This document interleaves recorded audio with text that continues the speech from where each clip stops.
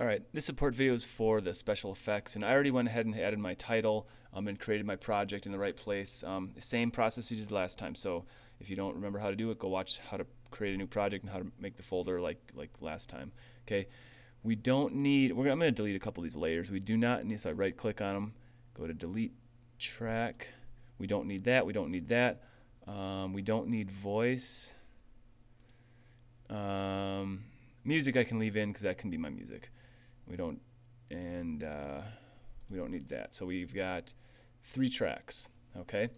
Um, and for this one, you gotta get some video. You can use the video you previously shot. Otherwise, I've got some sample videos in Drive 2, okay? So grab something. Okay, and something to work with, all right? And I'm going to then split these up into eight sections because you need eight types of special effects. Okay, check out the score sheet. It's right there on the directions. Um, you're going to use uh, invert, cookie cutter, mirror, and black and white. Those are the ones I want you to use. And then you're going to do four of your own choice. Okay, and then you're going to make a, an AVI video when you're done. Okay, so check this out. It's the scoring. Um, we're going to do the text media a little bit differently this time when we identify our clips. So um, once again, we'll do about five seconds worth of clips. And this is a music video I found I recorded off TV. So um, so let me look at that. And I, I'm not going to get exact here. So right now this is five seconds long. So roughly 10 seconds. I'll go to. Okay, press S. And then you can kind of just eyeball it. That's about that big, so that looks good. That looks good. Zoom out a little bit. Where here? That's a little too big. That's okay, though. One, two, three, four, five, six, seven. One more. Okay. And then I don't need the rest of this. All right, so we got our video um, set up, and this time our text media I want to play within the video, okay, like hidden, not hidden, but playing at the bottom, and you'll see here in a second. So let's add that first one called invert. So I have to select this clip, okay, you can tell it's selected. Um, actually, first let's add our text media. Uh, so I go to insert, text media, and the first one is invert, so I'm going to type invert.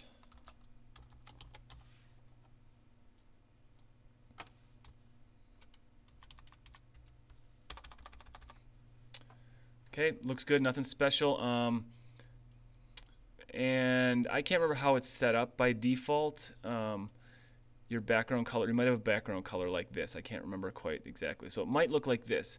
This isn't what we want, okay, because this these are layers, so this plays over the top of the clip, okay, and I wouldn't even be able to see my clip at all. So what I need to do is I need to go in here and under properties, I'm this is the transparency, they call it alpha, okay? I want my alpha at zero because if you can see that if you're watching up here um, it makes it completely see-through then because I want my background see-through except for the text okay? So this looks great. Then I go to placement and I want it to play at the bottom of the clip. So somewhere right down there Bo bottom centered is good so that that actually looks really good okay? So that's that's how to set up your text media for these just like the other one, what I would do is, I might zoom in a little bit here, because these might, I didn't do these exact sizes, so I can stretch it out so it plays for the entire clip. Now I'm going to copy that and do it again. Okay, once again, it's not quite as big as it should be. And do that for, I'm just going to do the first four, because that's those are required clips.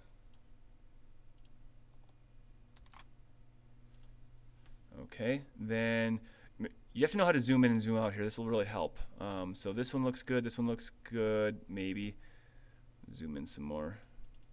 Okay, this one's a little too long, so I'm going to bump this one back down.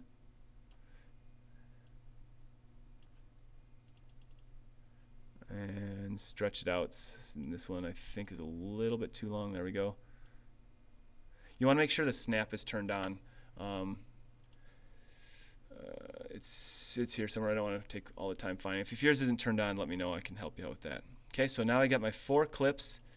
but they all say invert. So I maybe want to go ahead and do what clips they're really supposed to be. So instead of invert, this one's supposed to be cookie cutter.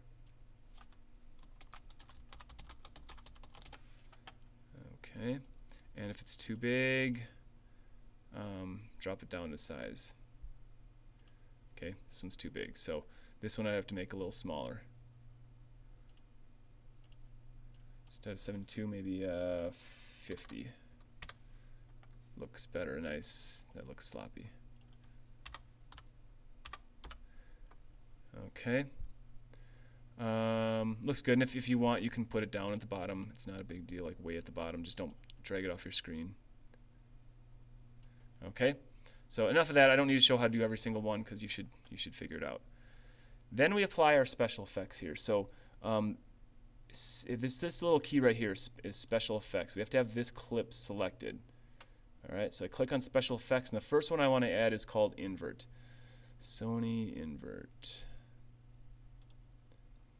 We click add, click OK, and then it's going to ask me how much invert we want. Right now, if it's zero, it's not going to be inverting the colors at all. So I would say we want 100% or up to one because otherwise it just looks kind of stupid. So if we go to 100% at invert, it inverts our colors completely.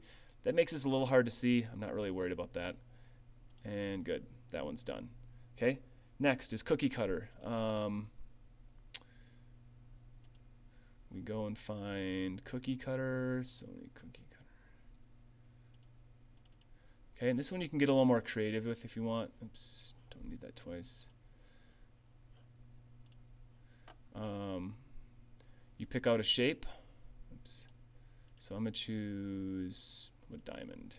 Okay, and then all kinds of stuff you can do here. Um, this is kind of hard because it's uh, it's already really dark, but um, what did I want here? There we go. Okay, there we go. So if it's the whole thing, you can't see anything, but if I make this a little smaller, you can see that diamond. Okay, so it's going to be cut out, and you can see through where the diamond is. And I can move this around too. Um, that looks good. Okay, now when we watch this part of that video, wherever the diamond cookie cutout is, that's where it's going to be. Okay, and I would want to go back and, and this one says cookie cutter. Okay, so that's two done. Next one is mirror effect.